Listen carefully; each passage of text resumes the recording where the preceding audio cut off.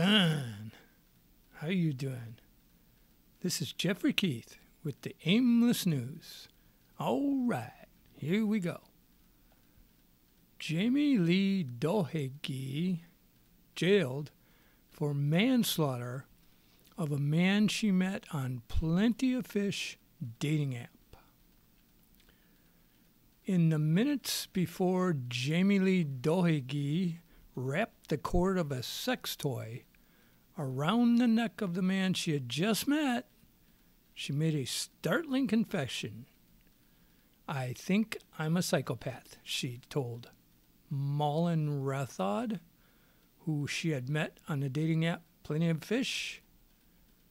She said she thinks she's a psychopath. Ooh. But tragically for the 24 year old victim who was studying in Australia, his date's disclosure went unheeded. Instead, he agreed to fulfill a fantasy the young woman told him she had harbored choke play. What could go wrong?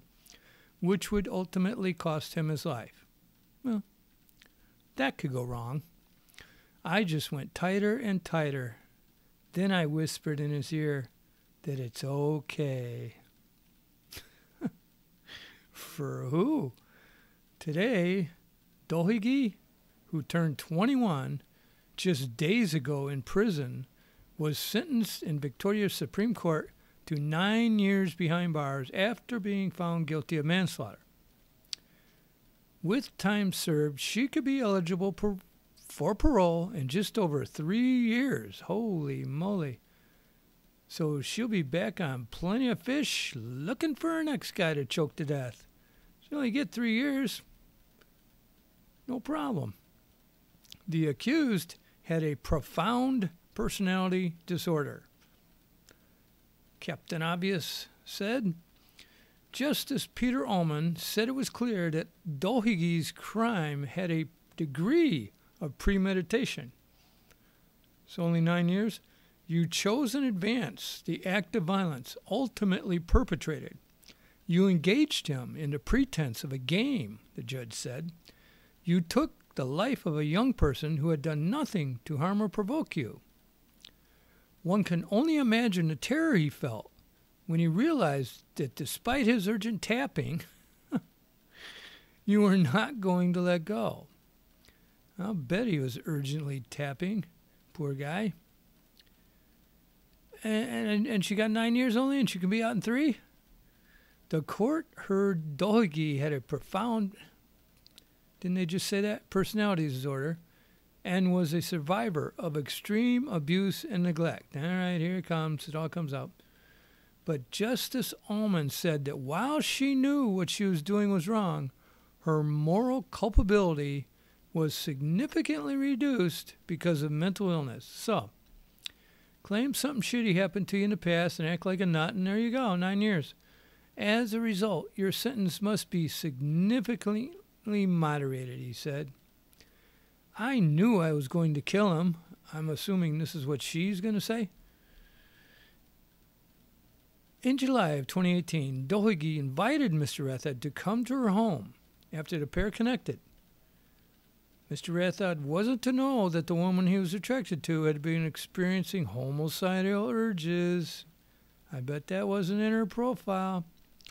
Nor was he aware that in the hours before his death, she had used Google to search, I'm going to kill someone tonight for fun.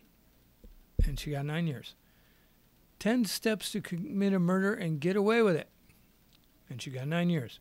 Later, when investigators asked her why she invited Mr. Rathod over, murder, she said. And she got nine years. I just had the urge. It's almost like someone smoking. Well, not really, but they can't help it. Well, they can, and so could you. They just really have to do it.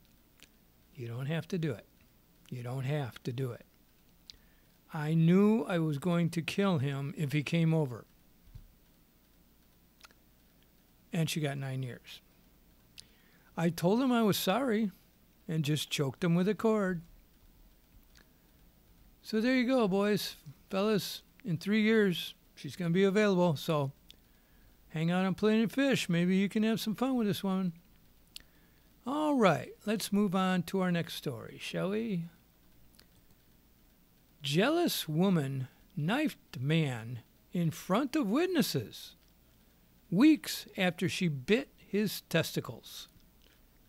Ouch. Just a few weeks before Wayne Coventry's death, his killer, Cordelia Farrell, had told police it's getting worse and worse, and one of us is going to end up dead. I think she knew then which one of them it was going to be. Wayne Coventry dialed 999 to report that his partner had bitten him on the testicles. After the incident, Farrell told police about his toxic relationship with Coventry, saying, It's getting worse and worse, and one of us is going to end up dead. I guess he said that.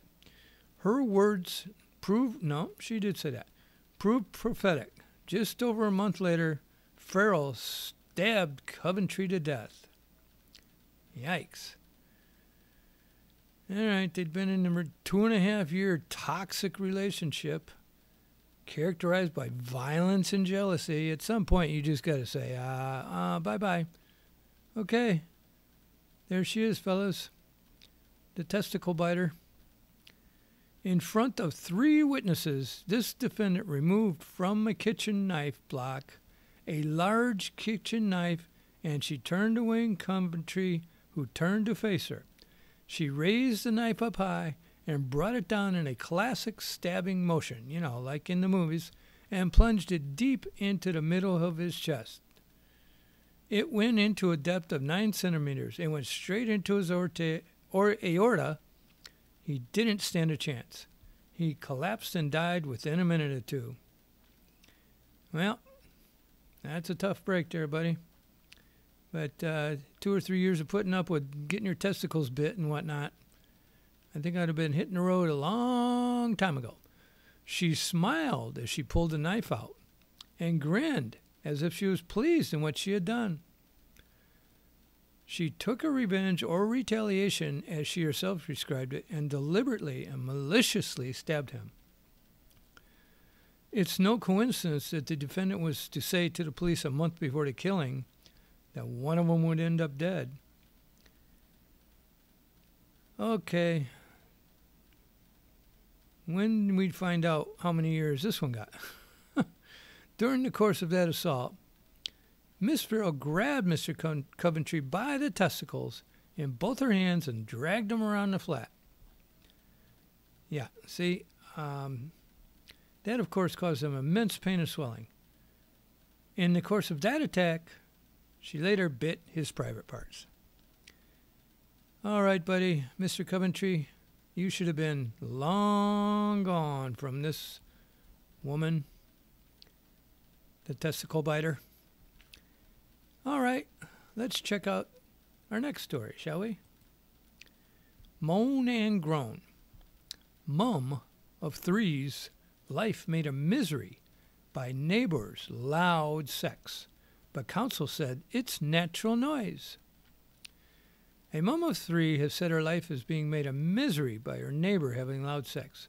The dispute has been ongoing at a home in Gorton, Manchester, since the lockdown began in March. But county officials say the noise is natural. The mum, who is asked not to be named, claims the woman who lives next door to her is making life a misery for her family. It's every night. It's terrible. Before lockdown, it wasn't really every night. Since lockdown, it's gotten worse.